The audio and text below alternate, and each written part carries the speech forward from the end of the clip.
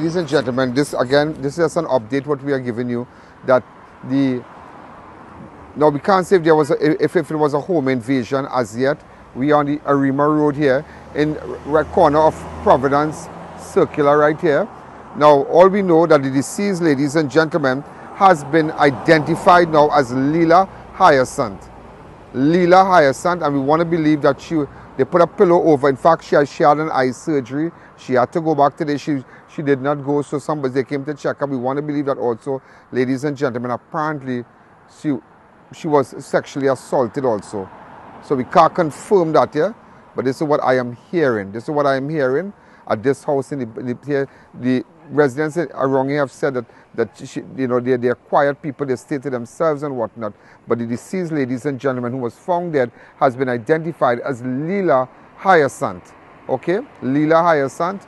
And apparently they, they, they, they stifle her and we want to believe that she, they suffocate her and apparently we're hearing that she, she, she, she was sexually assaulted also. That is all we are hearing.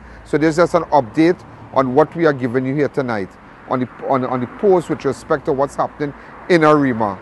So this is very, very sad, very, very sad. Apparently they are known people, very, very quiet people.